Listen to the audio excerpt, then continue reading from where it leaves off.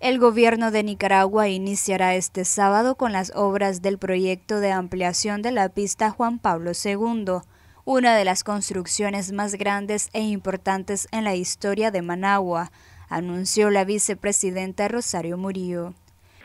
Inicia el proyecto de, ampliación de la pista Juan Pablo II, gracias a Dios, este sábado.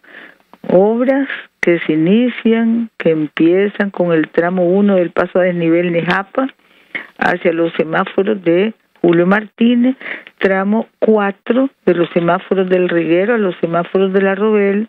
Informó que tres años tardará la modernización de la pista San Juan Pablo II.